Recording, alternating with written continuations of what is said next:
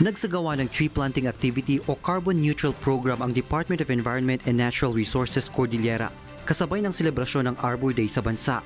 Higit siyam na libong iba't ibang uri ng punong kahoy ang itininim ng ahensya sa buong rehiyon, gaya ng pine tree, nara, mahogany, ipil-ipil, mulave, akasya at iba pa.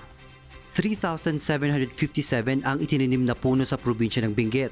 Mahigit tig isang libo sa Mountain Province at Abra, habang kulang tig isang libo naman sa probinsya ng Ifugao, Kalinga at Apayao. Layunin ng proyekto na mapababa o ma-neutralize ang carbon dioxide sa hangin na kapag nalanghap ay nakasasama sa kalusugan. Pangunahin itong nagmumula sa mga usok ng sasakyan at mga factory.